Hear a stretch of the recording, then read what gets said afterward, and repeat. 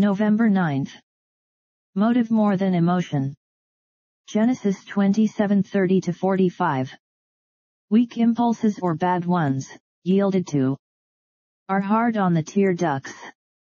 There's bound to be a bad emotional storm before the thing's over.